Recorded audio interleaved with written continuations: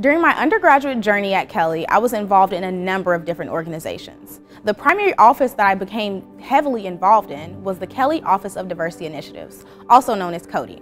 Throughout my involvement with CODI, I was able to create an entire long-lasting event, also known as Diversity Week, which happens every single April right here in the Kelley School of Business. That's how I'm leaving my Kelley legacy.